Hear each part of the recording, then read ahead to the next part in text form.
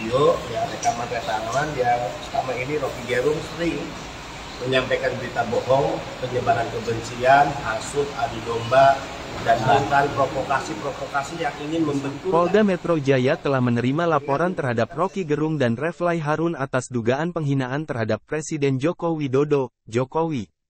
Truno Yudo mengatakan pihaknya juga sudah memeriksa tiga orang yakni pelapor dan dua saksinya untuk mengusut kasus tersebut.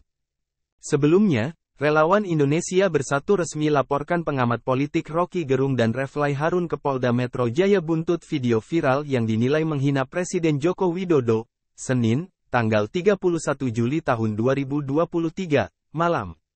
Laporan itu pun telah terregister dengan nomor LPB 4459 7, 2023, SPKTPOLDA Metro Jaya per tanggal 31 Juli tahun 2023. Lebih lanjut dijelaskan Lisman, terkait alasan pelaporannya itu yakni lantaran Rocky dinilai menggunakan kata tidak etis terhadap Jokowi dan dianggap telah menimbulkan kegaduhan. Selain itu Lisman beranggapan bahwa Rocky dinilai menyebarkan ujaran kebencian dan kegaduhan terlebih saat ini memasuki fase politik 2024. Sementara Refly lanjut Lisman dilaporkan karena dianggap telah menyebarkan video Rocky melalui channel YouTube-nya dan telah ditonton oleh ribuan orang.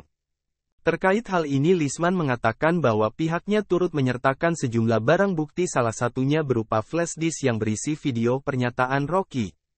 Dalam laporan itu, Rocky dan Refly dilaporkan terkait pasal 28 ayat 2 Jo pasal 45 ayat 2 UU nomor 19 tahun 2016 tentang IT dan atau pasal 156 KUHP dan atau pasal 160 KUHP dan atau pasal 14 ayat 1 dan ayat 2 dan atau pasal 15 UU nomor 1 tahun 1946 tentang peraturan hukum pidana. Adapun Rocky Gerung menjadi pembicaraan di media sosial Twitter pada Senin, tanggal 31 Juli tahun 2023, buntut dari ucapannya yang oleh sebagian pihak dianggap memaki dan menghina Presiden Joko Widodo, Jokowi. Potongan video yang memuat ucapan Rocky Gerung yang diduga menghina Jokowi itu beredar di media sosial. Dalam video yang dilihat Tribun News, Rocky Gerung menyebut Jokowi hanya memikirkan nasibnya sendiri. Oleh sebagian warganet, ucapan Rocky Gerung itu dianggap sebagai penghinaan kepada Presiden Jokowi. Namun, hingga saat ini belum ada informasi apakah ada yang melaporkan ucapan Rocky Gerung itu ke polisi.